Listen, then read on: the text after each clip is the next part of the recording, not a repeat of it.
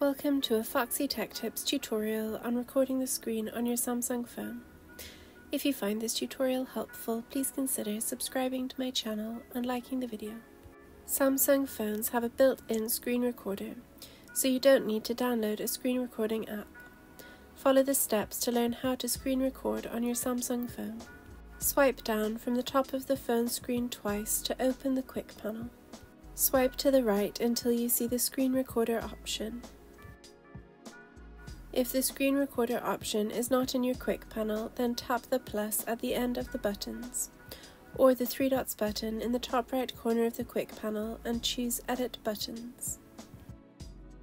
The screen recorder should be in the list of available buttons at the top of the screen.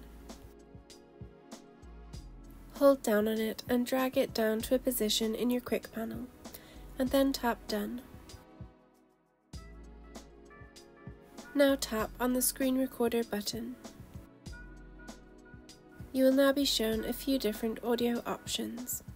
You can choose None to record no sounds with your screen recording, or you can choose Media to only record your phone's sound but not use the microphone.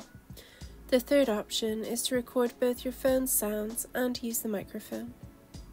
You can choose whether you would like taps and touches to be shown or not. Choose your preferences and then tap Start Recording. You will now have a 3 second countdown to the start of the recording. Your screen is now being recorded. You have some options on the recording bar at the top. You can hold down and move the bar if it is in your way.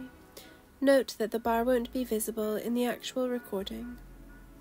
You can tap the pause button to pause and resume the recording. The pen icon allows you to draw on the screen as you record.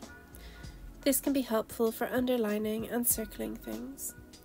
You can change the colour of the pen by tapping the coloured circle to the left of the pen.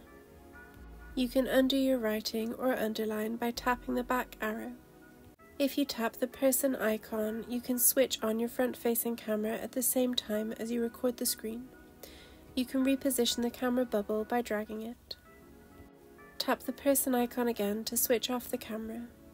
To stop the screen recording, tap the square stop icon on the right of the recording bar. Your recording will be saved to your gallery. And that draws an end to this tutorial.